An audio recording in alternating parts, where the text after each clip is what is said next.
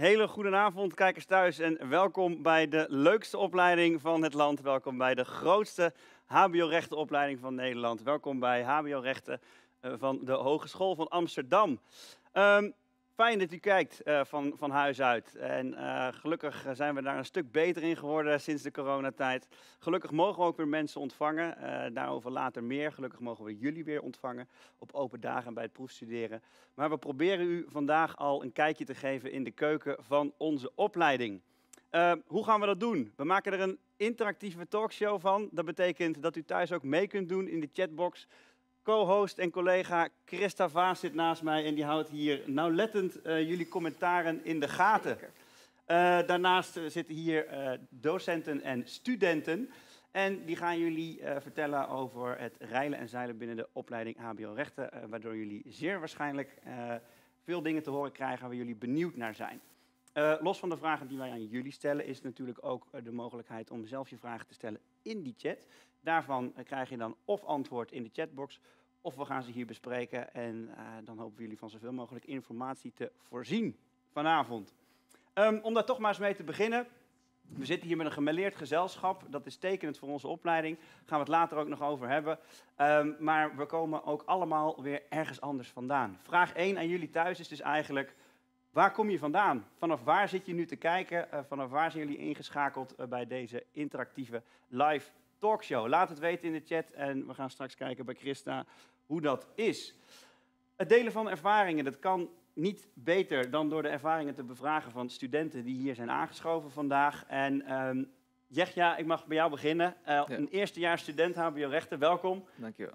Uh, de, de, kijkers thuis die zijn natuurlijk op zoek naar welke studie ga ik kiezen. Dat heb jij een jaar geleden, um, iets minder dan een jaar geleden misschien wel gedaan, of je wist het al lang. Ja, klopt. Hoe, uh, hoe ben je tot die keuze gekomen? Nou, in de vierde had ik al besloten dat ik uh, twee opleidingen wil volgen. Dat waren politicologie en uh, rechten. Dus toen dacht ik, het komt goed uit dat op HBO rechten is. Dan ga ik het op HBO eerst afronden. En dan ga ik daarna op de universiteit verder. Want op de universiteit heb je ook veel meer druk. En dan kan ik die druk veel beter aanpakken als ik wat ouder ben. Um, dus vandaar dacht ik, laat me HBO rechten op de HVA doen. Want ik woon in Amstelveen. Mm. En dat is best wel dichtbij van mij. En ik weet dat HVA ook wel goede onderwijs heeft. Dus dat, daarom heb ik gekozen voor HVA. Heel goed. Dus eigenlijk uh, kon je niet zo goed kiezen tussen twee uh, verschillende uh, studies, politicologie en rechten. Ja. Maar van rechten wist je, dat kan ik op de HBO ook gaan doen. dan heb ik het goed dat je van de HAVO de overstap hebt gemaakt naar deze studie. Ja, klopt. En hierna wil je je weg vervolgen op de universiteit. Ja, ja klopt. Ja. En misschien vind je wel zo leuk dat je eerst hier nog wat langer blijft hangen. Maar dat zien we dan nog wel. Ja, ja ik wil eerst op uh, HBO afronden. Ja. Um, dus eerste vier jaar van HBO rechten afma uh, afmaken. Oh ja. En daarna pas uh, naar de universiteit als ik rond 22 jaar ben of zo. Eerst het hele liedje uitzingen. Ja, klopt. Want ik wil ze allebei doen, dus dat komt goed uit dan. alles, wil, alles wil je meemaken. Ja. Ja, tof. uit Amstelveen zeg je. Volgens mij hebben we nog iemand uit Amstelveen. Ja, ja. Luca. Ja. Welkom ook. Tweedejaarsstudent. Zo hebben we van de hele opleiding hebben we mensen uitgenodigd vandaag. Uh, jij, hebt, bent uh, iets eerder, al een jaar daarvoor, ben je tot een keuze gekomen. Hoe heb jij je keuze gemaakt om HBO-rechten te gaan studeren? Het is eigenlijk best een grappig verhaal. Twee jaar geleden toen ging ik naar een open dag bij de HVA. En toen kwam ik eigenlijk voor de PABO en nog wat. Maar dat was in hetzelfde gebouw als de rechten, rechten open dag. Dus uh, nou ja, PABO vond ik uiteindelijk niks. En toen, toen zei ik tegen mijn moeder, nou kom man, we gaan. Het is, dit wordt hem niet. En toen op het laatste toen zagen we nog een zaaltje en daar was dan een voorlichting voor rechten. En daar zijn we toch nog eventjes naar binnen gaan, gegaan. Eventjes, nou, misschien is dit wat. En eigenlijk sprak het me zo erg aan dat, uh, dat ik er nu uh, beland ben. Ja, tof. Ja. Heel per ongeluk eigenlijk terechtgekomen. Ja, dus. maar ja, bij nader inzien was het wel echt wat voor mij. Dus. Ja, je zit op je plek. Ja. Ja, nou ja. hartstikke goed. Goede keuze geweest. Ja. En, en je zegt, ik kwam daar terecht bij een, uh, bij een presentatie en toen dacht ik, hé, hey, dit is leuk. Weet je nog wat het nou maakte dat je dacht, hé, hey, maar dit is leuk? Ik moet zeggen dat ik niet meer precies weet wat uh, twee jaar geleden. Ja. Nee, durf ik niet meer zo goed te zeggen wat daar. Uh... En je zit nu wel op je plek. Ja, geeft helemaal niks dat je dat niet meer precies weet. Maar je zit nu op je plek. Wat maakt het dat je op je plek zit? Wat vind je hier? Als je nou iets heel fijns, waarom is het zo fijn hier? Nou ja, een van de dingen die ik er heel leuk aan vind, is dat het heel erg met, met je eigen leven ook te maken heeft. Het heeft heel erg te maken met uh, dingen die je ook tegenkomt in je dagelijks leven of dingen waar je van hoort op het nieuws. Je bent heel erg ja, betrokken, ja. denk ik. En dat, nou ja. Betrokken, uh, het recht zit overal. Ja, eigenlijk. ja, precies. Ja, dus, Ja. eh, dus kom je het ook overal tegen, van, Ja. eh, nadat je het in de klas hebt mogen ervaren. Mhm. Eh, twee keer Amstelveen, volgens mij gaan we ook nog andere steden horen, maar hebben we inmiddels ook al in de Zeker. chat gehoord waar mensen vandaan Absoluut. Niet allemaal zo eh, dichtbij als Amstelveen. Maar ik zie ook Naarden terugkomen. Naar Amsterdam, nog dichterbij. Hilversum, Haarlem, twee keer. Nooddorp, Diemen, Den Helder, Castricum, Utrecht, Texel. Nou, eigenlijk eh, door heel, het- heel het land zie ik het wel. Ja, uit Hoorn, Purmerend. Het gaat maar Zeker. door, het gaat maar door. Iedereen tuned in, dat is leuk. Dat betekent ook dat jullie meedoen in de chat. En dat is natuurlijk helemaal de bedoeling. Eh, schroom dus ook niet nogmaals om vragen te stellen op het moment dat je graag iets wil weten. Sommige eh, onderwerpen komen wellicht later aan bod. En misschien zijn er ook vragen die we meteen behandelen hier. Of Christa eh, geeft, een, eh, geeft een antwoord eh, via de chat. Leuk dat iedereen van, van heinde en ver en van dichtbij in ieder geval is ingeschakeld vanavond. Veel Noord-Holland merken we, maar ook Utrecht hoorden we. En eigenlijk zien we ook studenten uit Brabant komen, Gelderland, er zijn studenten uit Groningen.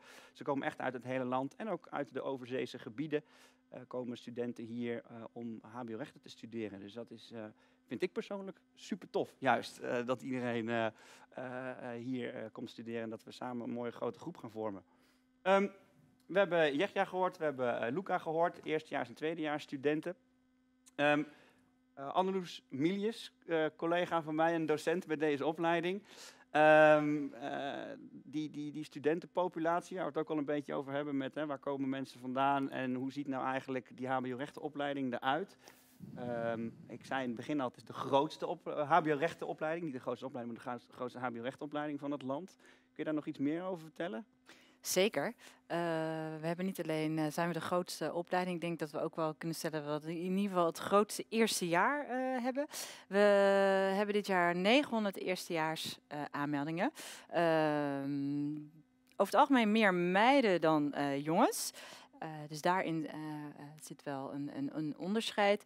Maar we zijn eigenlijk sowieso heel divers. Als je kijkt naar de achtergrond van de populatie, het zal mij niet verbazen als in de klas van wie ik studentbegeleider ben, dat daar zo'n eh, 14, 15 verschillende nationaliteiten Ja. zitten. Dus heel veel diverse achtergronden. Eh, er zijn studenten die hiervoor de HAVO hebben gedaan. Eh, er zijn eh, studenten die hiervoor een mbo-opleiding hebben gedaan. Eh, dat kan eh, iets juridisch zijn geweest. Dus dan hebben ze al, eh, nou ja, zijn ze bekend met het recht en willen ze daarop door. Maar er zijn ook andere studenten, studenten met een andere mbo-opleiding die zeggen, nee, hbo-rechten. eh, eh, nou ja, fantastisch, leuk, interessant. Ehm, dus heel divers. Die populatie studenten is heel eh, divers. En nou ja, eh, naast mij eh, verderop zit eh, Semir, dat is een collega van mij. En wij zijn met elkaar collega's. En waarom ik dat zo zeg, is omdat wij als docenten eigenlijk ook een heel divers team zijn. Dus niet zozeer als in waar komen we allemaal vandaan, maar echt ook eh, met heel veel verschillende expertises, heel verschillende afkomsten. Dus ik denk dat dat wat, eh, nou ja, wat, wat, wat meer zegt over de populatie eh, op de opleiding. Ja. Ja, mooi. Eh, en, en dus niet, inderdaad niet alleen qua afkomst, eh, culturele achtergrond, maar ook verschillende expertises. Ehm, want eh, Jasmina, Jasmina Alkouini, eh vierdejaarsstudent, bijna klaar. Ja, ja klopt. jij hebt het hier allemaal zo doorlopen en jij bent ook ooit begonnen met het studeren van HBO-rechten. Ja. En we horen net iets over docenten met heel veel verschillende expertises. Hoe zie je dat terug in het onderwijs? Ehm, eh, hoe bedoel je met qua expertises? Gewoon Ja, per dus vak? docenten, eh, de een weet veel van eh, eh, gebied A, de ander weet veel van gebied B. Eh, zie je dat ook terug in het onderwijs, zeg maar? Dus eh, je, je volgt je verschillende vakken. ehm, je krijgt strafrecht, geloof ik, staatsrecht, verbintenissenrecht. Maar ook eh, andere onderwerpen spelen een grote rol. Kun je daar Zeker. Ja, dat merk je wel echt eh, in de lessen. Dat, eh, dat je zeker ook inderdaad dat het gewoon docenten zijn met eh, veel kennis. Ehm, je hebt gewoon veel verschillende vakken, zoals je die net eh, opnoemde. Mhm. Ehm, ja, of ik dat merk, ja zeker. Je, je krijgt les van ze, je, je begrijpt de vakken door hen. Dus eh, En zijn dat dan alleen rechte vakken?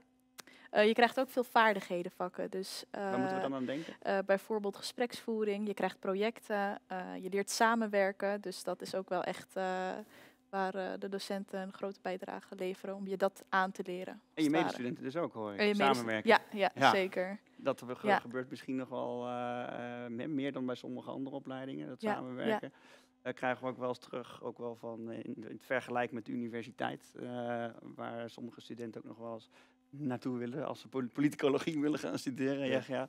Ehm, en ehm, eh, dan hebben we natuurlijk ook nog eh, Angelica, derdejaarsstudent. Yes. Het laatste jaar dat we nog niet besproken hebben. Hm. Ehm, toen jij bent begonnen met HBO-rechten, Mhm. wat is jouw keuze geweest en hoe heb je de keuze gemaakt? Ehm, nou, ik kom zelf van het MBO af. Ja. En dat was eerst een totaal andere opleiding eh, dan wat we nu doen natuurlijk. Eh, ik deed evenementorganisatie. En ehm, ik had eigenlijk al toen ik daarmee begon, dat ik eigenlijk iets in de richting van eh, rechten wilde doen. Alleen vond ik het op MBO-niveau niet echt aantrekkelijk. En dacht ik van oké, nou ja, dan ga ik kijken op HBO-niveau. Ehm, en dat, dat idee dat had ik eigenlijk in het eerste jaar eh, had ik dat heel, ja, was ik daar heel steady op. En toen op een gegeven moment, juist omdat ik meer bezig was met evenementen en hotellerie en communicatie, ehm, ja, was ik me, ja, verdiepte ik me daar veel meer in. Ehm, en had ik, was ik ook naar open dagen gegaan daarvoor. En toen uiteindelijk ja, klikte het gewoon niet en vond ik het allemaal eigenlijk niks. En toen dacht ik op een gegeven moment bij mezelf van, oh ja, ik wilde eigenlijk ook rechten gaan doen. Toen ben ik naar een open dag gegaan en toen ja, was ik gelijk daarna verkocht eigenlijk. Ja, klopte het. Ja. Ja. mhm. En, en jij, jij komt van het eh, MBO. Hè? We Mhm. hebben eerder al gehoord eh, dat we hier ook havisten in de zaal hebben. En ehm, eh, als je nou aan de kijkers thuis ook moet uitleggen van goh, de overstap naar het M- van het MBO naar het HBO. ehm, totaal andere opleiding, zoals je al aangaf. Dus de mhm. inhoud was anders. Maar Ja. is het de manier van lesgeven ook anders? Wat kunnen ze, eh, wat kunnen MBO-studenten verwachten van als ze de overstap gaan maken naar het HBO? Nou, ik heb zo, of tenminste dat had ik qua mijn persoonlijke ervaring, vond ik wel dat ehm, docenten het de overstap wel groter maken dan het is. Kijk, ja, het is natuurlijk anders omdat, je, omdat er gewoon in één keer heel veel op je, op je afkomt. Maar zodra je ja, het, de eerste periode hebt gehad, dan landt het eigenlijk allemaal op je en dan valt het achteraf valt het eigenlijk allemaal wel mee. Ja. En dan is het juist interessant om ja, een soort van de keerzijde te zien van dat het toch niet zo heftig is dan, dan dat vooraf wordt gezegd.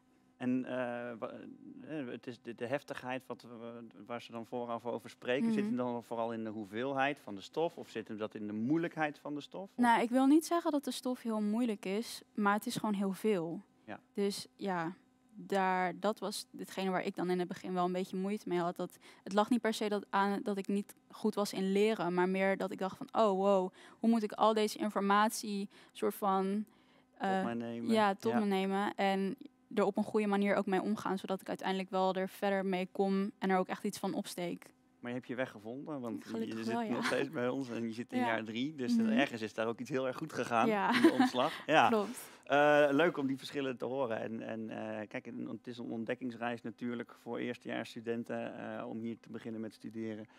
Uh, en ieder vindt zo zijn, zijn of haar of uh, hen eigen weg.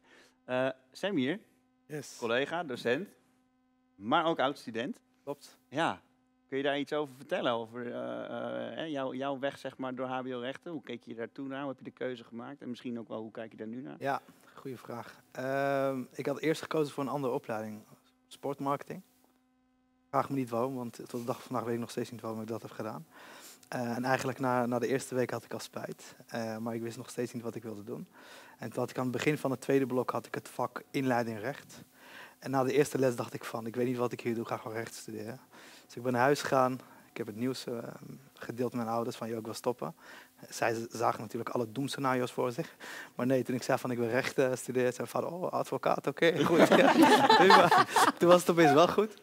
Uh, dus ja, toen heb ik me uitgeschreven en het was een, een heel spannend half jaar, want ik wilde graag beginnen, maar ik moet dan echt wachten tot het nieuwe collegejaar. En geen spijt meer gehad van dat besluit. Dus vier jaar gestudeerd hier. En ik vond het zo leuk dat ik ben blijven hangen. Dus dit is al mijn vierde jaar als docent hier. Ja. ja nu ik dat hardop zeg. Ja, ja. ja. Vierde collegejaar als docent hier. Ja, het vliegt. Inderdaad. Dus vier hele leuke jaren gehad als, uh, als student. En misschien zelfs nog leukere jaren gehad als uh, docent. Herken je veel in de studenten die je nu tegenkomt als docent? Zeker. Vanuit je eigen tijd? Ja, ja klopt. Zeker. Uh, ik zie ook heel veel studenten die echt op mij lijken. Nou, niet fysiek, dat gun ik ze niet, maar, uh, maar gewoon echt... Maar ze zijn heel blij met jou, de ook, stijl, met hoe je eruit ziet. Hoor. De, de stijlstudent. Uh, dat vind ik altijd heel tof om te zien. Uh, maar ik denk ook dat, de, dat onze opleiding de afgelopen jaren nog diverser is geworden dan het al was. Ehm, en en dat, dat, dat, dat, doet, dat doet mij goed. Eh, ik, ik merkte wel van beginperiode hier op de opleiding, toen ik hier studeerde, eh, was ik nog wel even zoekende. En als ik ook nu kijk hoe de opleiding er nu uitziet, denk ik ergens ook, ik ben een beetje jaloers. Eh, had ik dit maar toen ik hier studeerde. En dan hebben we het niet alleen over diversiteit onder studenten, maar ook onder, eh, onder docenten. Ja. Dus eh, ja, het is echt, de opleiding is alleen maar mooier geworden de afgelopen jaar. Tof. Ja, Ja. ik zie ja, ja knikken. Ja, mooi is dat om te zien dat jij gewoon vanaf het begin dat het helemaal is ontwikkeld tot hoe, eh, hoe het er nu uitziet. En eh, wat je benoemt, diversiteit. Het is echt wat ik ook natuurlijk vanaf dag één opmerkte op deze opleiding. Het is echt. eh, Ja, je zit hier ook vier jaar. Heb je daar ook ontwikkeling in gezien? Wat we van Sam nu ook terug horen? ja, ik moet zeggen, die diversiteit eh, bij docenten, dat zie ik nu wel echt. Dat is echt erg eh, ontwikkeld. Dat is, eh, het is nu zo divers. Het is eh, echt van alles wat. Studentenpopulatie en werknemerspopulatie is wat dat betreft eh, komt goed overeen. Mogen we Zeker. dat zo zeggen? Ja, zeker. Ja. Zeker, ja. Echt een weerspiegeling. Ja. De huidige docentenpopulatie is een weerspiegeling van onze studentenpopulatie. En ik denk dat dat ook wel heel veel studenten motiveert van eh Die, want die zien zichzelf ook terug. Die zien in- zichzelf in een, eh, Ja. ja. in zo'n docent. Gaaf. Ja. Ja, eh, dat heb ik al eerder gezegd ook. Ik vind dat ook gaaf eh, aan deze opleiding. eh, maar dat is ook goed voor de mensen thuis om te weten natuurlijk. En ehm, eh, ja, we hebben te maken met studiekiezers natuurlijk, eh, u thuis. En ehm, eh, we hebben beloofd om ook ervaringen te delen van hoe is dat hier nu om te studeren. Eh, hoe zijn we tot de keuzes gekomen, hebben we natuurlijk ook al besproken. Ehm, maar als we nou feitelijk kijken wat jullie daarvoor gedaan hebben. Ik heb van Luca al gehoord, open dag. Kwam je toevallig bij HBO Rechten uit. Maar maakt allemaal niet uit. Eh, wat hebben jullie nog meer gedaan om de keuze te kunnen maken? Dus hè, we hebben het net gehad over hoe je, eh, heb je tot je keuze, eh, hoe ben je tot je keuze gekomen eh, qua je gedachtegang en waar kwam je vandaan? Maar heb je daar nog dingen voor ondernomen? Ben je ook naar een open dag geweest bijvoorbeeld? Zeg, ja? Eh, nee, ik wist al gelijk dat ik eh, HBO-rechten ga doen op eh, HVA. Ik, eh, want eh, ik ken ook mensen die het op HBO hebben gedaan, eh, Ja. op HVA. Die hadden zeiden tegen mij dat op eh, HVA gewoon prima onderwijs is. Dus, eh, en het is ook gewoon fijn. Mhm. De, en het is ook in de buurt. Dus ik dacht, dat is best een keuze dan. Ja. Want ik wou sowieso al eh, rechten ook doen. Dus ik, ik hoefde niet echt te kijken. Ik wist al wat het eh, ongeveer inhield voor mij. Je had de voorlichting niet nodig. Nee. Nee, nee, nee. nee. En Angelica, was het bij jou?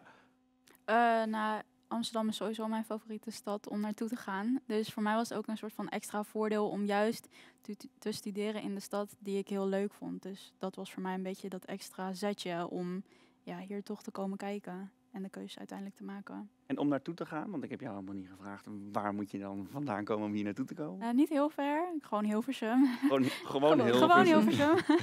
dus eh, het is niet, ja, het is een klein uurtje reizen. Dus dat is verder prima. Ja, de verbinding is verder gewoon prima. Maar ja, toch Ja. lekker in Amsterdam zijn, lekker centraal. Altijd de stad kunnen pakken of naar de stad kunnen gaan. Lekker uit eten te kunnen na school. Dat is alleen maar fijn. Heerlijk, ja, Ja. want er zijn eh, naast het studeren natuurlijk nog tal van mogelijkheden in deze Mhm. mooie stad. Klopt. En eh, daardoor gaat je dag als student er eh, niet alleen uitzien als eh, zittende in een lokaal en het kijken in boeken. Nee, een dag van de student ziet er veel, ehm, eh, veel omvattender uit dan dat. En om daar een beetje een illustratie van te geven, gaan we nu kijken naar Imen, een student van ons. En Imen gaat jullie meenemen door een dag zoals die loopt bij HBO Rechten. Goedemorgen, ik ben Iman. Ik studeer HBO-rechten aan de Hogeschool van Amsterdam. Vandaag neem ik jullie mee om te laten zien hoe zo'n dag eruit ziet.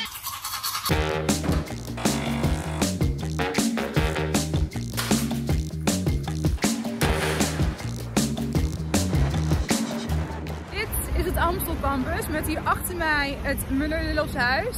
En daar het Wieboothuis waar je heel erg lekker kan lunchen. En hier achter mij, daar heb ik nu les. Mijn eerste les voor vandaag is taalpracticum.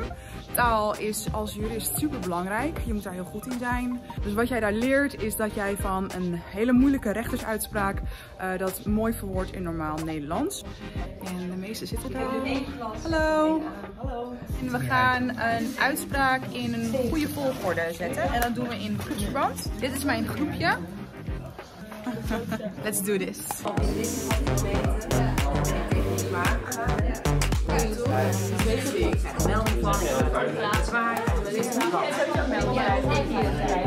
Op het campus hebben we verschillende plekken waar je lekker koffie kan krijgen.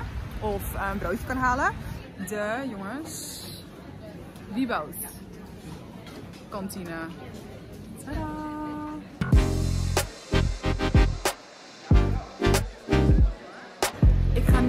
Naar het MLH, dat is het gebouw eh, naast het Wieboudhuis. En daar heb ik een gesprekje met mijn mentor. Gaan we even kletsen over hoe mijn toetsenweek gegaan is. Je zit al op me te wachten. Hallo. Hi. Er zijn een paar toetsen die voor mijn gevoel goed zijn gegaan. De antwoorden leek niet voor elkaar. Dus ik heb. Ik eh, ga nu naar mijn projectgroepje, want ik heb een casus met hen te bespreken. En dat doen we op een andere plek.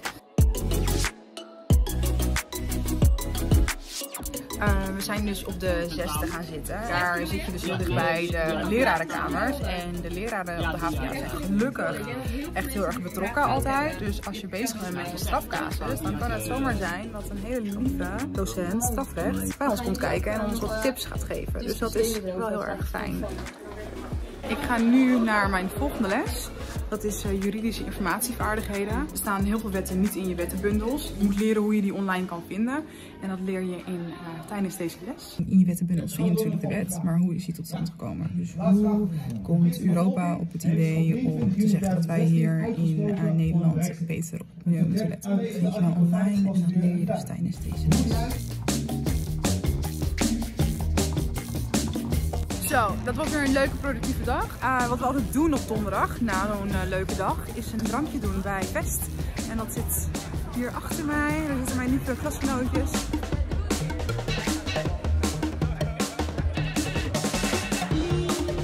Oké jongens, dit was mijn dag. Ik wens jullie heel veel succes en ik zie jullie volgend jaar.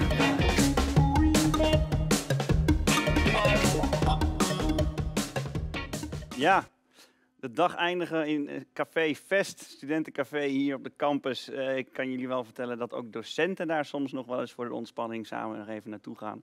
Ehm, voor studenten is dat eh, gelukkig ook weer mogelijk, want we hebben er lang op moeten wachten. Ervaringen mee, toevallig? Ja? Nee?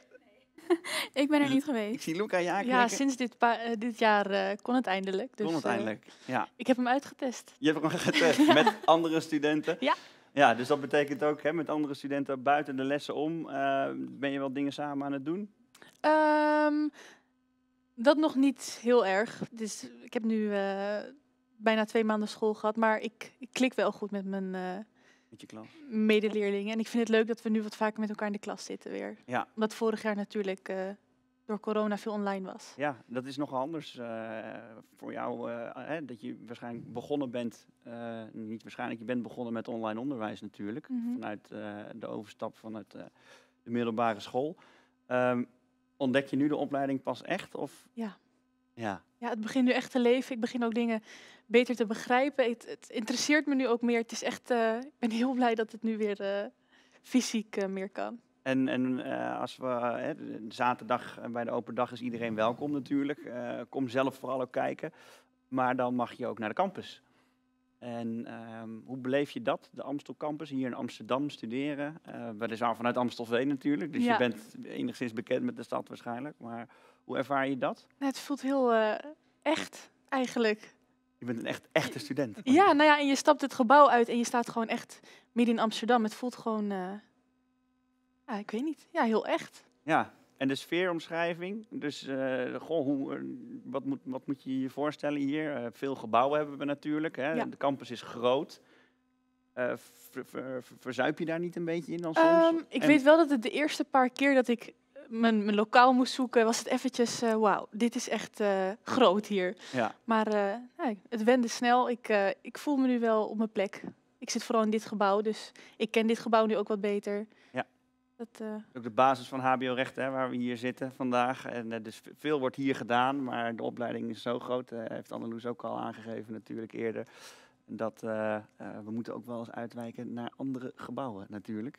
Ehm, Angelica, hoe, ervaar jij dat? Jij hebt natuurlijk, eh, je had al wel eerder ook les gehad hier op de campus. Ja, maar eh, het studentenleven, je kwam naar Amsterdam daarvoor, zei je Ja, net, vanuit klopt. Hilversum. Ja, klopt. Hoe ervaar je dat? Ehm, ja, het- ik ben sowieso zelf wel echt gewoon blij dat alles weer gewoon, of in ieder geval dat geldt voor mij, dat ik twee dagen in de week gewoon lekker fysiek naar school kan gaan.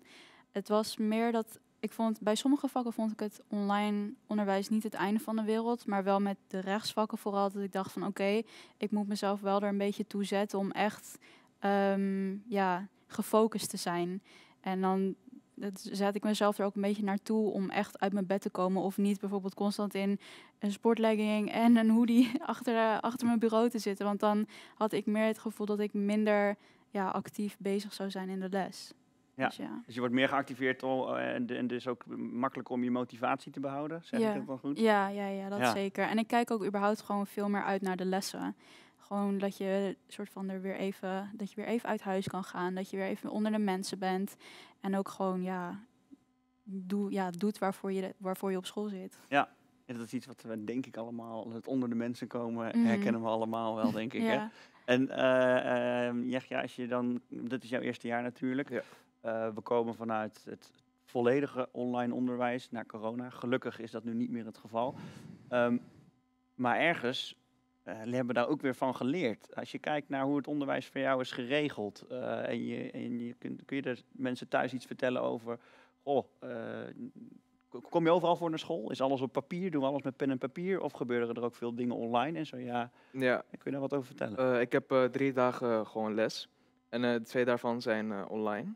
Maar die vakken dat ik online heb, zijn wel gewoon echt perfect voor online. En die vakken dat ik op eh, college heb, zijn ook gewoon echt heel goed voor college. Bijvoorbeeld ehm in, in vak JIF, dat is gewoon met leren hoe je juridisch moet werken met eh, computers. Dat, dat is gewoon perfect dat je achter je computer zit.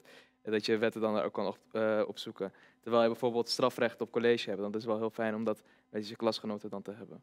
Fijn om samen, sommige dingen is dus fijn ook om samen echt met andere studenten Ja. te doen en dus naast elkaar te zitten. Ja, klopt. En dan kan je daarna ook gewoon met je k- klasgenoten gewoon eventjes praten en zo. Het is ook fijn om met andere mensen te zijn. Ja. Want ik kan me nog herinneren toen ik ook een volledige lockdown zat eh, op een middelbare. En dat vond ik ook niet fijn. Maar Nee. gelukkig heb ik dat dit jaar niet. Uiteindelijk zijn we allemaal gezelschapsdieren dan toch ergens. Ja. En eh, willen we dat. Maar ik hoor dus volgens mij ook van jou dat het onderwijs nu wel zo is ingestoken dat de dingen die eigenlijk efficiënter zijn om online te doen, Ja. die worden online aangeboden. En eh, alles waarvan we toch denken, dit is fysiek eh, handiger om bij elkaar te zitten, dan Ja. gebeurt dat fysiek. Ja, zo ervaar jij dat in Dat ervaar ik dan tenminste, Ja. Ja. Alleloes, kijk ik ook even naar jou. Eh, naast docent ben je natuurlijk ook eh, eh, voorzitter van de curriculumcommissie. Misschien even heel kort toelichten. De curriculumcommissie voor de mensen thuis. Wat moeten we ons daarbij voorstellen? Nou, curriculum is eigenlijk een moeilijk woord voor onderwijsprogramma. Onze opleiding bestaat uit vier jaar. En nou ja, hoe zorg je er nou voor dat die binnen die vier jaar de student en nou zorgt dat hij aan zijn eindkwalificaties voldoet op een samenhangende, gedegen manier, waarin nou ja, zijn verschillende vaardigheden en kennis op een juiste manier eh, eh, worden getoetst. Eh, ook middels verschillende toetsvormen, het onderwijs ook daadwerkelijk daartoe bijdraagt. En de curriculumcommissie is eigenlijk binnen de opleiding HBO-rechten daarvoor verantwoordelijk eigenlijk. Dus adviseert het management over de inrichting van de, een een goed samenhangend onderwijsprogramma. Ja, en die goede samenhang. eh, de, de, de vorm is in ieder geval in de afgelopen tijd nogal eens veranderd. Nogal. En we horen Jechja net ook vertellen hoe hij het ervaart. eh, en, eh, en, en Angelica die gaf ook al wat, en doe ook wat verschillen aan tussen voor en na.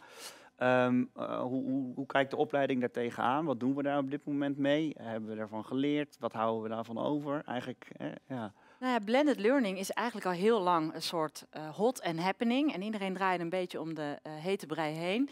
En eh, in die zin heeft corona ook wel wat goeds gebracht. Namelijk ineens moesten we. Dus we zijn nu over die drempel heen. Het koudwatervrees nou ja, hebben we nu achter ons gelaten. En we kunnen nu zeker op basis van de ervaringen die we de afgelopen twee jaar in dat onderwijs hebben opgedaan... kijken van oké, welke activiteiten lenen zich nou eigenlijk bij uitstek eh, juist om samen te doen, omdat uitwisseling nodig is, feedback, dat menselijke contact, eh, dat je gelijk op elkaar kunt reageren. Maar er zijn inderdaad ook dingen waarvan je denkt, ja, maar moet een student dan helemaal voor een eh, gesprek met zijn mentor eh, naar school komen? Dat, dat deed Vanuit ik, hè? Den Helder. Dan, ja, voor een, bijvoorbeeld. ja. een, een, een mentorgesprek van een kwartier. ja. Eh, daarvan zeg je nu, weet je wat, we meeten elkaar in teams. eh, en dan, ja, dan heb je ook echt een heel prima contact in zo'n online setting. En hoeft de student niet eerst drie kwartier of nog langer met de trein hierheen te komen. Ja. Dus we kijken heel erg, wat is de aard van de activiteit?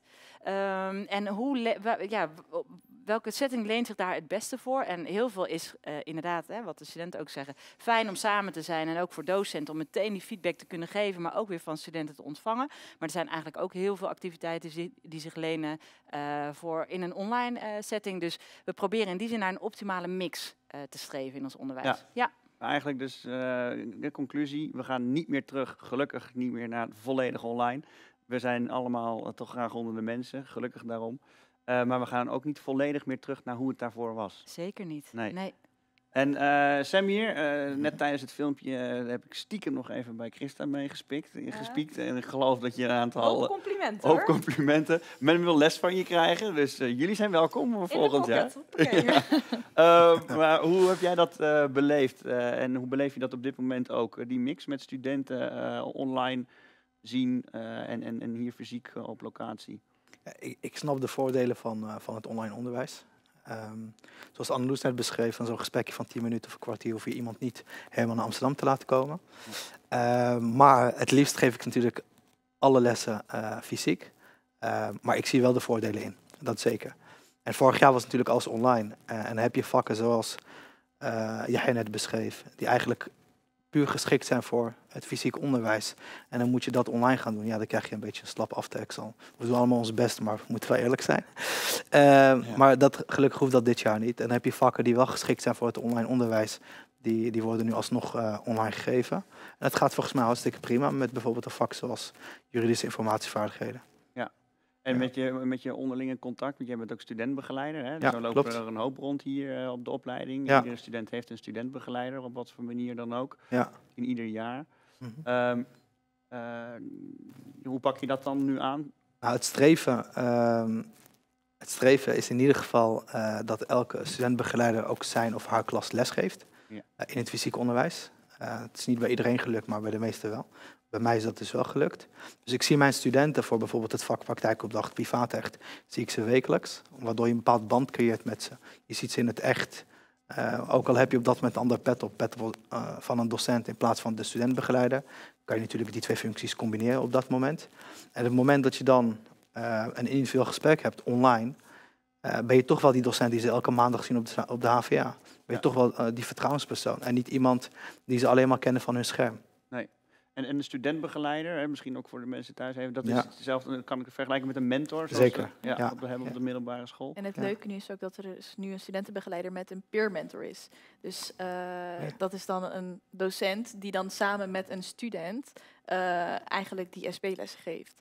Dus eh, dat is ook wel leuk om te vertellen. Is dat je eigenlijk gewoon een gelijke hebt met wie jij eh, jouw verhalen kan delen en waar je tegenaan loopt. Een ouderejaarsstudent Ja. Die naast de Ja. mentor fungeert als peer mentor, hè, zoals Ja. je dat dan zegt, eh, en dus ook aanspreekpunt kan zijn voor studenten. Yes. En dan kijk ik meteen natuurlijk even naar de andere kant. Jij hebt daar ervaring mee nu. Ja, klopt. Ja. Ik vind het wel heel fijn dat ik een peer mentor heb. Want ik heb vaak vragen dat ik eh, echt makkelijk aan haar kan vragen. Zoals bijvoorbeeld, hoe kan ik het best voorbereiden op het tentamen bij eh, een bepaald vak? Of ehm, waar kan ik het, eh, bepaalde informatie vinden? Kan ik gelijk naar haar toe gaan? En dan kan ze me helpen daarmee. In plaats van dat ik eh, naar mijn SB ga. de- daarmee. Want zij heeft alleen verstand van haar eigen vak meestal. Mhm. En dan mijn peer mentor is een student van vorig jaar die dan al die vakken ook heeft ervaard. En die weet dan ook wat het beste is wat je dan kan doen. Ja, dus je kunt, dus je kunt eh, in principe altijd ook, nee, je kunt naar je SB'er, hoor ik je zeggen, maar die peer mentor is voor eh, alles waar je studentervaring voor nodig Ja, hebt, klopt. Toch, toch wel heel erg Ja, fijn. want zij heeft het ook meegemaakt als Ja. student vorig jaar. En dan weet ze ook wat de beste oplossing voor is of wat je het best kan doen. Dus dat vind ik heel fijn om met haar dan bijvoorbeeld te kunnen bespreken. Je hebt alles een aanspreekpunt. Ja. Luca, hoe is dat voor jou? Hoe, hoe ervaar jij dat eh, hier op de opleiding? Ehm, de, de, de peer mentoren? Ja, nou en misschien ook wel, eh, ik moet mijn vraag iets verduidelijken. Eh, de- we hebben het er eerder al over gehad. Het is een hele grote opleiding. Eh, we zijn nu toch eigenlijk ook aan het kijken van, is er dan persoonlijk contact? Nou, we Mhm. horen een aantal voorbeelden vanuit docenten, vanuit studenten. Hoe ervaar jij dat hier? Op zo'n Ehm, grote opleiding? Ik weet dat het een hele grote opleiding is, maar zo voelt het voor mij niet altijd. Eigenlijk niet. Ik heb nu een, eh, een, s- een vaste klas. Ik eh, ken heel wat docenten nu. Peermentoren heb ik vorig jaar gehad. Het, het is, er is genoeg persoonlijk contact om te zeggen dat, het, dat je niet merkt dat het een hele grote opleiding is. Ook als, je, ook als je alleen deze kant op komt, ben je niet per se alleen. Ja, Ja, tof. Ik zie eh glunderend gezicht. eh. Tof om te horen. Ja. ja, toch? Ja, inderdaad. Soms is het voor ons ook leuk om dingen van studenten te horen. Die we dan nu eigenlijk ook misschien wel eens horen. eh, en normaal gesproken dan niet. Ehm, Christa, kijk even naar jou. Eh, de chatbox ging eh, aardig los, geloof Zeker. ik. Hebben wij daar vragen in? Ehm, ja, en dat is eigenlijk vooral een vraag wel aan Jachja. Wat voor soort vakken heb jij allemaal in het eerste jaar? Ehm, ik heb op dit moment eh, alleen eh, vier vakken. Dat zijn, nee, wacht, sorry, vijf. Dat zijn eh, praktijkopdracht, taal en ehm JIF, juridische informatievaardigheden, strafrecht en staatsrecht. En, En, en, wat doe je dan in zo'n praktijkopdracht? In de Bijvoorbeeld? praktijkopdracht tot nu toe moesten we alleen een bepaald contract met elkaar oprichten met mijn groepje. En dat eh, hoe we samen met elkaar gaan werken en dan hoe we toekomstige casussen gaan aanpakken. Want we moeten over het volgende blok moeten we dan ehm, een casus uitwerken met de, hele, met de hele klas. En dan moeten we echt een soort van rechtszaak hebben. Een soort van dat je dan eh, een groep hebt die advocaten zijn, een andere groep die rechter zijn, een andere groep eh, iets anders. Dus dat is, dat is wel heel leuk. En dat is wat de praktijkopdracht ongeveer inhoudt. Echte praktijk eh, ja, dus echt, je ervaart dan ongeveer wat, hoe het zou voelen om echt een, eh, later die kant op te gaan van eh, rechten en zo. En ik, ik hoor je ook zeggen taal. We hebben eerder ook al van Jasmina gehoord. Hè. Ge- Gespreksvoering komt langs. eh, juridische informatievaardigheden hoor ik jou ook eh, Ja. zeggen. En, en eh, Luca, kijk ook even naar jou. Taal in de opleiding HBO-rechten. Eh, wat voor plaats neemt dat in? Is dat belangrijk? Eh, en zie jou meteen ja knikken. Zo ja, daarom. eh, hoe belangrijk is dat en hoe merk je dat? Ehm, het is zeker belangrijk. Ik weet dat in het eerste jaar ging het, werd je ook even opgefrist met letterlijk eh, spelfouten. Hoe je, weet ik veel, deetjes, deetjes moet gebruiken. Echt eventjes goed op, op schrijffouten letten. Mhm. En nu, eh, ja, hoe zeg ik dat? Gaat het wat iets minder om, om de taalfouten, maar leer je echt. ehm, het klinkt heel stom, maar hoe je dingen moet lezen en hoe je. Ja, lastig uit te leggen. Ja, ik vind het niet stom klinken, Nee, want volgens mij is dat precies de bedoeling. En, Ja, dat is ook wel een goeie, want het kwam ook uit de, uit de chat naar voren. Moet je echt van boeken lezen houden? Jij? Je, je moet wel lezen. Dus het is handig als je het al leuk vindt. Dus ik bedoel, dat is sowieso meegenomen. Maar eh, ik moet zeggen, ik ben niet heel veel met boeken bezig. eh. Ik lees wel wat, maar het is, het is niet zoveel als, als ze zeggen dat het Je is. studeert op een andere manier. Ja. Ja. Ja. En, en bij de, eh, je, je, je gaf aan dat je het misschien wel lastig vond om te omschrijven van ja, wat doe ik dan nu eigenlijk met taal? Je leert misschien wel lezen. Zag ik Jasmina heel erg knikken. Eh, eh, Ja. Jij herkende je wel een beetje in wat, wat Luca voelt met eh, hoe, hoe zie je taal dan terug? Waarom is dat zo belangrijk? Ik voor- denk dat met dat je leert lezen, bedoel je waarschijnlijk dat je leert hoe je jurisprudentie moet lezen. Dus dat zijn uitspraken van rechtszaken die zijn geweest. Voor deze opleiding wist ik niet waar ik moest beginnen en wist ik niet wat zo'n beoordeling was of eh, wat er allemaal voorafgaand aan eh, gebeurt. Maar dat leer je dus ook allemaal bij taal. Je leert zo'n eh, uitspraak, ja, dus gewoon als het ware lezen. Je, je weet hoe, hoe het in elkaar zit, waar je moet kijken voor de beoordeling, zeg maar wat de uitkomst is. Ehm, en daarnaast krijg je bij, leer je ook schrijven bij taal. Je leert eh, brieven schrijven zoals je dat niet bijvoorbeeld op de middelbare school hebt eh, gedaan. Daar heb je voornamelijk, denk ik, eh, verslagen moeten schrijven. Maar hier leer je bijvoorbeeld een verzoekschrift schrijven of een verweerschrift. Dat is toch ander taalgebruik en een andere opbouw dan bijvoorbeeld bij de middelbare school. Dus ik denk Je dat leert dat, veel over de juridische je taal. leert juridische eigenlijk. taal. En Ja. ja. taal is denk ik ook de, het instrument van een jurist uiteindelijk. Van de toekomstige juristen, wij die eh, hier zitten. Je, gaat veel met taal bezig zijn, zeker. Ja, de Ja. wet bestaat uit Taal, ja. taal. Ja, en- ja precies. En, en eh, we hebben net ook op basis van de vraag uit de chat gehoord eh, van Jechja hoe de, hoe, welke vakken die krijgt. En eh Anneloes, eh, voor de kijkers thuis, eventueel eerstejaarsstudenten volgend jaar, ziet dat pakket er toch eigenlijk net iets anders uit? Of misschien ook wel in een bepaalde zin vergelijkbaar, maar dan toch ook weer anders. Kun je ons daar misschien iets over vertellen? Zeker, eh, want het voorbeeld wat jij net geeft, daar gaan we eigenlijk alleen nog maar meer van doen. Eh, want we zijn een beroepsopleiding en dat betekent dat we juristen opleiden voor het beroep van jurist. Nou, en hoe gaat dat het beste? Door in een zo vroeg mogelijk stadium al kennis te maken met die praktijk. Dus wat gaan we doen? Nog meer dan dat we eigenlijk in het huidige curriculum gewend zijn.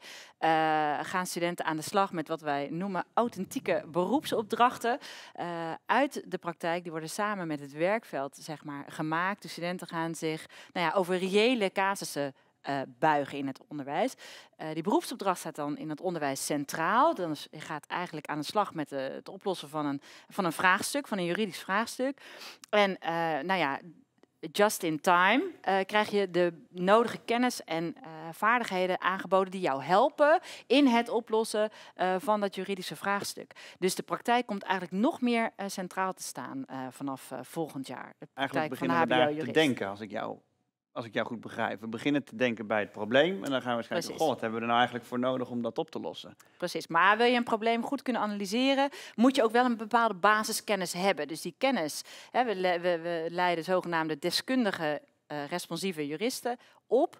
Eh, deskundig betekent met een stevige kennisbasis, dus je moet wel goed weten waar je het over hebt. Ja. En wat betekent dan dat responsief? Want dan ga ik alvast voortborduren op de vraag die je waarschijnlijk vervolgens zou willen stellen.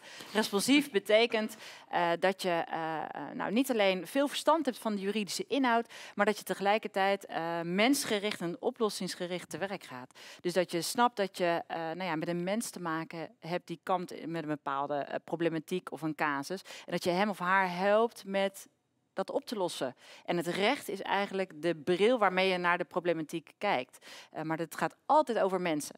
Eh, dus eh, ja, en daar zijn heel veel van die vaardigheden voor nodig die ook al voorbij zijn gekomen Ja. eerder in dit gesprek. Dus als de student, de, de komende, aankomende studenten die nu zitten te kijken, als die denken van, oh, oh jee, krijg ik dan nog wel strafrecht, want daar heb ik juist zo'n zin in.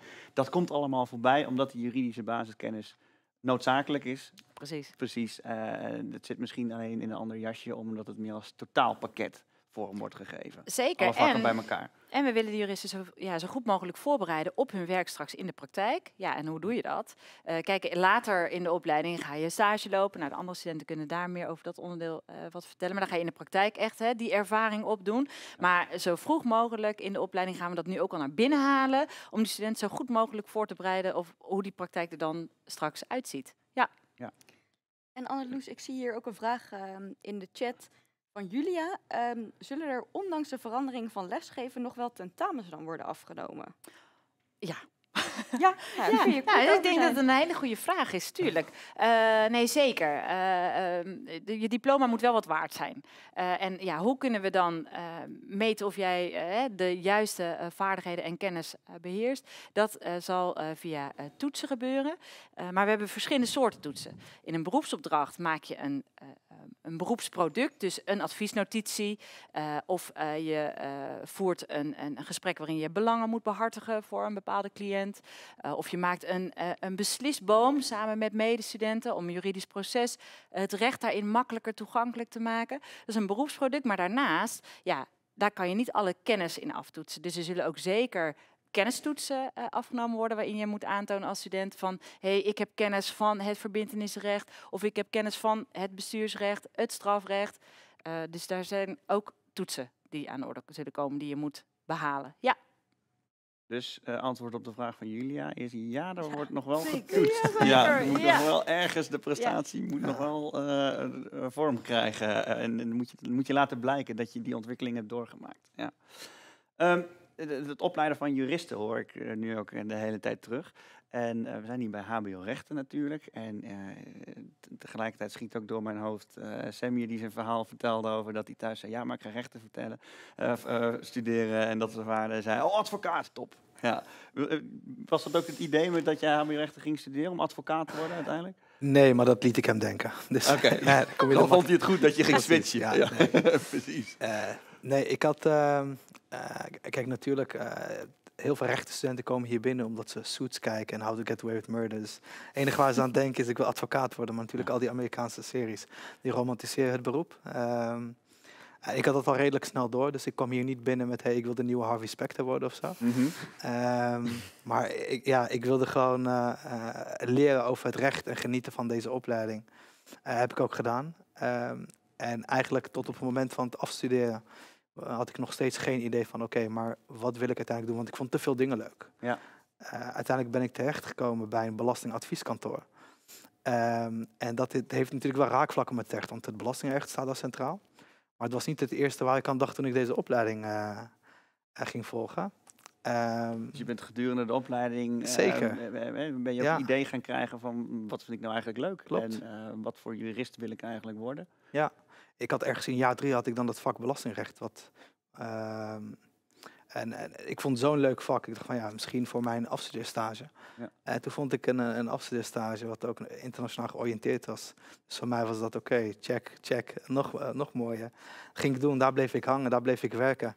Totdat de HVA zei van, hé hey, Samir, we zoeken nog docenten. Ja, toen was het eigenlijk al direct, eh, Ja, toen was de keuze makkelijk gemaakt. Dus ja, geen advocaat geworden. Maar ik, doe, eh, ik denk niet dat ik zoveel zag genieten als ik nu doe. Als ik Kijk. advocaat was geworden. niet, niet onbelangrijk natuurlijk. Zeker, En eh, wat wel heel erg interessant is, eh, is eh, wat zij hier zegt, namelijk heel veel studenten van ons die willen eigenlijk wel graag advocaat worden als ze hier komen studeren.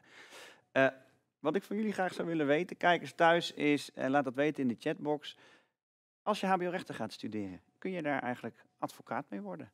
Dat is de stelling die we eh, nu inbrengen. eh, en dat, eh, de, daar vragen we jullie dus om, om te reageren in de chatbox. Laat het weten, kun je met HBO-rechten advocaat worden? Heel veel van jullie denken daar misschien ook wel over om dat te willen. Veel van onze nieuwe studenten doen dat in ieder geval.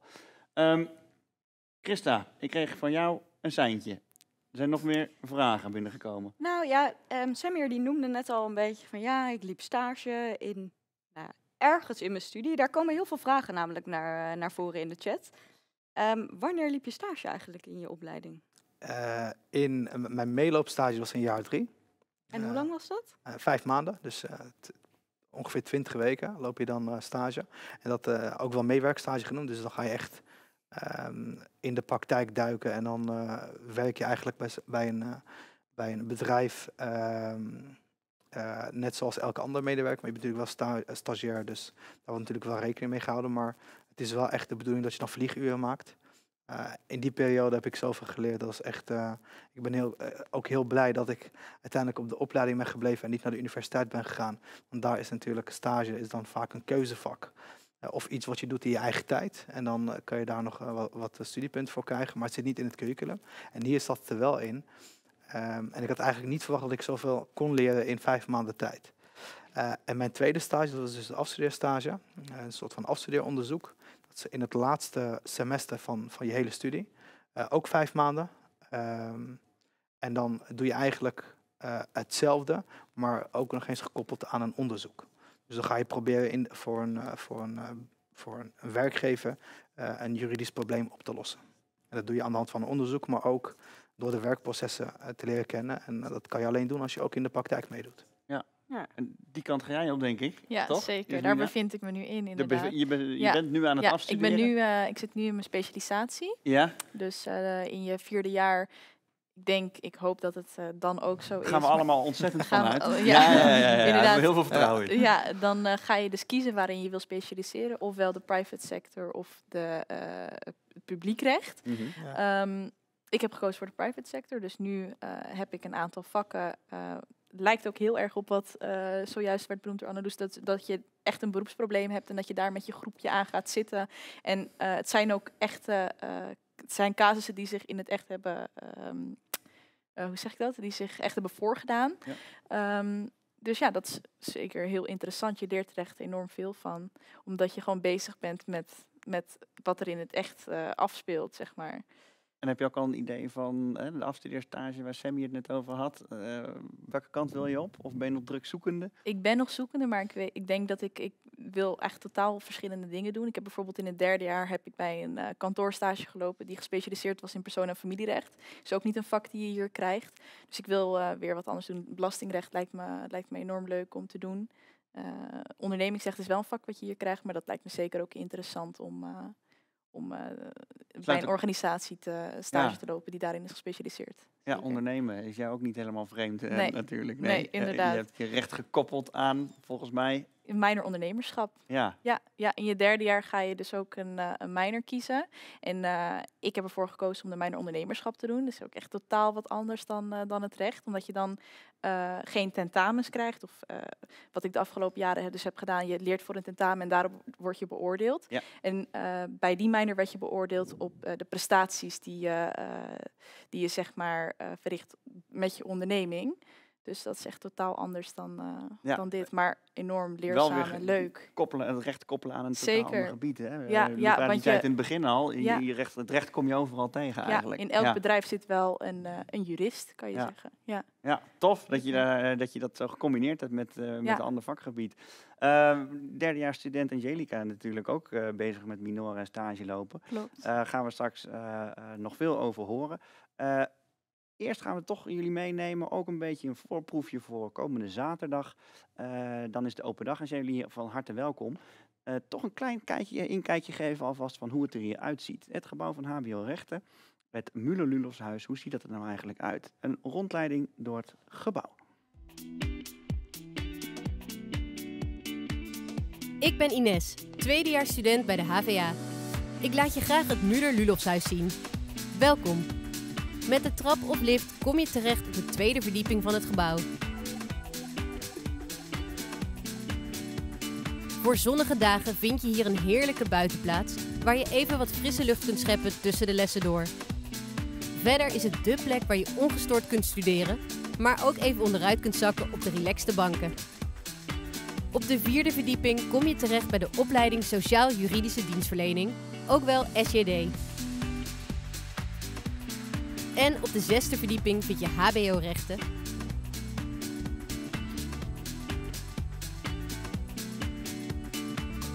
Zoals je ziet is er genoeg plek om samen te zitten of te studeren.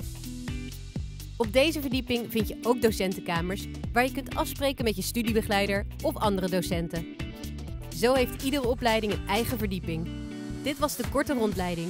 Wie weet, tot snel! Ja, wie weet tot snel. Wie weet misschien dan wel tot zaterdag. Want dan is de open dag waar je je nog steeds voor kunt aanmelden. En eh, dus wees welkom. Eh, kom gezellig kijken. Kom zelf sfeer proeven. Ook dan zullen hier studenten rondlopen waar je vragen aan kunt stellen. Eh, je kunt proeflessen volgen. je krijgt een algemene presentatie ook wel, over wat je kunt verwachten volgend jaar van de opleiding. Dus ben je er na vanavond, na deze enthousiaste verhalen, nog steeds niet helemaal uit en wil je toch nog zekerder zijn van je zaak, wees welkom komende zaterdag. Uh, en dit was dus een voorproefje van ons gebouw. En zoals beloofd zojuist gaan we toch ook nog eventjes terugschakelen naar het, de, de vragen over het stage lopen. En Angelica, jij hebt MBO uh, gedaan hiervoor. Daarin ja. loop je stages, als ik me niet vergis. Klopt, ik heb ja. twee stages gelopen. En uh, nu mag je dat bij het HBO ook weer gaan doen. Ja. Of doe je op dit moment? Nee, ik ben nu bezig met een, met een minor. Ja. En dan volgend semester ga ik stage lopen. Heb je al enig idee waar je stage gaat lopen? Um, nou, uh, vanwege mijn minor vind ik het jeugdrecht heel erg interessant. Dus ik zou me daar het liefst wel uh, meer in willen verdiepen. En vond ik vorig jaar en het tweede jaar Europees recht ook echt uh, super interessant. Um, dus ja, ik ben een beetje aan het aftasten van wat ik nou echt leuk vind. En ja, waar ik dan toch die vijf maanden zou willen doorbrengen. Dus ik ben Ja. een beetje aan het voorbereiden alvast. Ja, maar je bent wel een beetje je richting aan het kiezen Ja. op basis van wat je tot nu toe leuk Ja, vindt in, in de opleiding. En dan Mhm. ga je daar eens even kijken. eh, eigenlijk wat uh, Jasmina net ook zei, eh, overal maar eens kijken. En daar kun je stage natuurlijk ook prima voor gebruiken. Klopt. En eh, Anneloes, als, als we kijken naar waar studenten die stages gaan lopen en ook als ze eenmaal afgestudeerd zijn, ehm, waar komen studenten dan vooral terecht? Jeetje, ja, waar komen ze niet terecht? Het is een hele brede opleiding met eh, heel veel mogelijkheden. Eh, eh, en nou ja, er is een stelling volgens mij going on of je advocaat kan worden. Daar ben ik Ja, straks wel heel... Daar ga ik nog niks ja, over zeggen. Ik ga dat andere, wat je allemaal kunt doen, schetsen. Nou, je kan op verschillende manieren naar kijken. Er zijn verschillende beroepsrollen waar je op kan voorbereiden. Maar laten we even bij de sectoren beginnen. De meeste studenten komen terecht in de decentrale overheid. Dus dan heb je het bijvoorbeeld over gemeentes, maar ook eh, uitvoeringsinstanties. Eh, veel studenten gaan aan de slag bij rechtsbijstandsverzekeraars bijvoorbeeld, maar ook in het bedrijfsleven. En nou ja, wat voor soorten eh, rollen kun je dan aan denken? Je kan eh, eh, handhavingsjurist worden bij een gemeente. Dus dan buig je over hoe je ervoor zorgt dat eh, mensen zich in de gemeente aan bepaalde wet en regelgeving eh, houden. Eh, cafés bijvoorbeeld, eh, met sluitingstijden, dat soort zaken. Eh, maar eh, ook eh, eh, beslissing op bezwaar, of eh, meer eh, bij een gemeente als eh, eh, jurist die eh, bezwaarschriften behandelt. Dus burger ben je het niet eens met iets van de gemeente. Nou ja, dan behandel je zo'n casus, ga je met zo'n burger nou, in gesprek om te kijken van, hé, hey, wat is daar precies aan de hand? Hoe kunnen we dat oplossen? Ja. En en zijn dat functies, dus bij gemeentes. Maar rechtsbijstandsverzekeraars, ja, zoveel aanvragen van eh, mensen die eh, bijvoorbeeld als cliënt eh, tegen een geschil aanlopen, die juridische bijstand nodig hebben. Nou, dan ga je in die zin bijstand verleden en ook ja, als bedrijfsjurist, bijvoorbeeld op een multinational of in het bedrijfsleven, meer als HRM. ik hoor het, je kunt ja, door, ik, je kunt door, je kunt door. Ja, ik kan Ja, door blijven dus- gaan. Ja. De, de, de mogelijkheden zijn plenty in Eigenlijk ieder geval. wel, ja. Ik hoor wel veel terugkomen overheidsinstanties. Dat, Zeker. Dat studenten van ons daar veel terechtkomen. En eh, ehm, het- een grote groep gaat dus wel eh, een bepaalde hoek in. Maar eh, eigenlijk kun je alles wat je leuk vindt in de komen ook weer terug met waar Luca mee begon. Ja, je Het komt recht over- is overal. komt het overal tegen, Ja, dat recht. ja. Dus als je het iets leuk vindt, een onderwerp, eh er zullen ook contracten getekend worden en dergelijke. En er zijn juristen voor nodig. Ja. Concurrentie, bedingen, merkenrecht, sport. ja, eigenlijk, Ja. eh, er wordt zoveel gereguleerd. Ja, precies. Eh, daar kan je als jurist aan de slag. eh, Ja. Influencers van YouTubers tekenen ook contracten. ja, je kunt ze gek niet bedenken. Waar we iedere dag wel niet geïnteresseerd in zijn of het leuk vinden of naar kijken. En daar komt het recht ook bij kijken. Ehm, en dan toch die advocatuur. Ja, kun je nou advocaat worden, Christa? Eh, hoe hebben onze kijkers daarop gereageerd? Nou, er komen veel netjes binnen. Een Hier hoop- zie ik Isa, die zegt nee. Milan, nee. Wissam zegt nee. Kevin, nee. Sam zegt nee. Matthijs, ja, ze zijn redelijk eensgezind. En zijn er dan ook nog neetjes? Of eh, zijn er überhaupt jaartjes? Nee. Nee? Oké.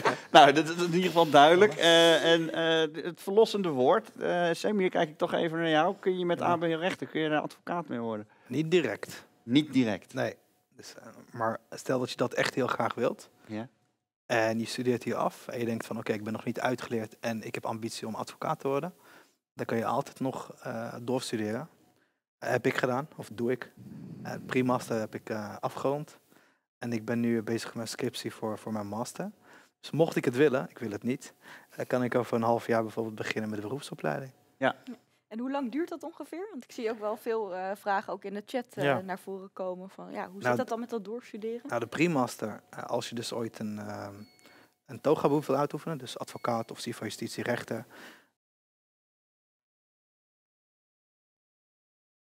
Mhm. dan kan je dat voltijd doen. Maar ik werkte 40 uur ernaast.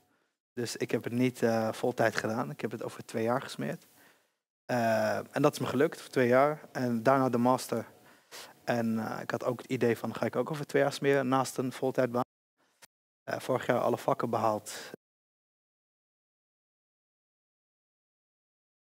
Totaal na het afstuderen HBO-rechten, 3,5 jaar om, eh, om dat laatste papiertje te halen. Maar dus naast een, een, een baan van 40 uur in de week. Ja. Ja. Heftig. Eh, chapeau, Ja. kan ik, moet ik zeggen. eh, dat je dat er dus ook nog naast doet. Het doorstuderen is dus mogelijk. Mhm. En het antwoord op de vraag, eh, kun je met HBO-recht advocaat worden, is dus in beginsel nee. Want je moet er nog een hoop vervolgstappen voor zetten. Mhm. Ehm, Luca, al enig idee wat je hierna met die opleiding wil doen?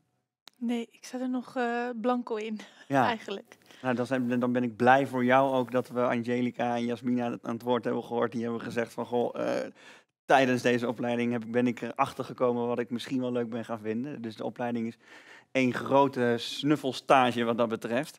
Eh, en ga je er wel achter komen. En eh ja, van jou hebben we wel gehoord dat je in ieder geval daarna ook al wel... Ja, ik wil daarna gewoon verder studeren op de universiteit. Mhm. Als ik klaar ben met HBO-rechten. Maar ik weet nog niet precies wat ik wil worden, nee. Je, weet- je weet nog niet precies wat je wil worden. En dan nog een mooie lange weg te gaan. En Ja. dat hoef je ook nog niet te weten. Nee, klopt. Dat is misschien ook wel prettige. Ehm, en eh, als we dan kijken naar hè, waarom HBO-rechten, daar begonnen we mee. Laten we daar ook, we gaan alweer langzaam richting eh, het slot. Dan laten we daar ook mee eindigen. Ehm, als je nou, eh Anneloes, eh, HBO-rechten eh, van aan de Hogeschool van Amsterdam, waarom eh, zijn wij nou anders dan andere HBO-rechten instellingen? Wat maakt ons bijzonder? Waar lopen we misschien wel in voor? Wat zijn onze paradepaardjes. Wat zijn onze- Gooi, ze, als je- als gooi je- ze er alsjeblieft nog Als je wilt bijdragen aan een rechtvaardige samenleving, eh, dan zou ik zeker naar Amsterdam komen. Want hier kan je hart ophalen, ligt het recht voor het oprapen. eh, en, en, en uitdagingen genoeg gezien de grootstedelijke problematiek waar we die midden in het centrum eh, van zitten. Ja. Tegelijkertijd hebben we ook een heel interessant eh, profielpunt, om het zo te noemen. Dat is legal tech. Hoe kun je het recht toegankelijker maken met behulp van software? Eh, en, en, en dat legal tech, legal tech track, dat is iets waar we in Amsterdam wel echt heel, nou ja, waar we voorlopers in zijn ten opzichte van andere HBO-rechten. eh, opleidingen in Nederland. Dus heb je ook affiniteit met ICT, of nou ja, dan, dan word je hier op je wenken bediend. Ja, en nog weer zo'n heel mooi voorbeeld natuurlijk van, het, eh, eh, van, van de crosslink tussen verschillende werkgebieden die, eh, die dan eigenlijk samenkomen. en Wat onze opleiding dus ook bijzonder maakt. Tof om dit allemaal van jullie te horen. en we gaan nog één keer kijken naar de chatbox, want misschien zijn er nog prangende vragen. Dan kunnen we er nog eentje beantwoorden. Ja, ik zie hier eh, wel wat vragen ook over het zogenaamde doorstroomprogramma. Ja? Naar voren komen of we daar iets over willen uitleggen. Kijken. Oh ja, of je het doorstroomprogramma wil gaan volgen, is de vraag. Ja. Ja, dat, eh, dat wil ik ook doen, ja. Ja. Ja, want eh, als ik het doorstroomsprogramma heb gevolgd, en dan ben ik afgestudeerd van HBO-rechten, dan wil ik ook daarna nog politicologie doen, maar daarna wil ik de masters doen voor allebei. De- Kijk, kijk, kijk, kijk, kijk. Ambitie. eh, leven Hallo, lang kom- ja. ambitievolle studenten. Ja, Fantastisch. Ja, Dus eh, nadat ik eh, allebei heb afgerond, wil ik allebei de masters van kunnen doen. En daarom wil ik ook de doorstroomprogramma kunnen volgen volgend jaar. Tof. Ja, daar, daarbij moeten we natuurlijk ook wel kijken dat, eh, want het doorstroomprogramma, jullie zijn goed op de hoogte thuis, eh, moet ik zeggen. Eh, dat, Ja. dat doorstroomprogramma bestaat nu in het huidige curriculum. We hebben Anneloes eerder vanavond gehoord over het nieuwe curriculum dat eraan komt voor jullie. En hoe dat doorstroomprogramma dan vorm gaat krijgen, ja of nee, is nog te bezien. Maar daar kunnen jullie natuurlijk TZT eh, bij ons eh, voor terecht. eh, want dat gaat dan als het goed is vorm hebben gekregen. Daar zijn we druk mee bezig. Ik dank mijn gasten, allemaal, alle studenten, alle docenten. Dank jullie voor jullie enthousiaste verhalen, voor jullie mooie ervaringen, voor jullie leuke verhalen. Ik vond het zelf ook erg leuk om weer naar te mogen luisteren.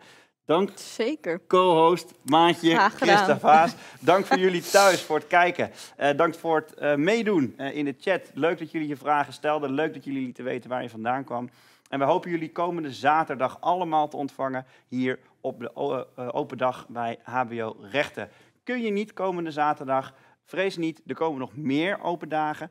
En eh, er komen ook nog mogelijkheden om te proefstuderen. 18 november kun je je voor opgeven. Eh, kun je ook proefstuderen. Dat gaat allemaal via www.hvja.nl slash hbo-rechten. Hopelijk tot dan en misschien al wel tot zaterdag. In ieder geval hartelijk dank voor het kijken en een hele fijne avond.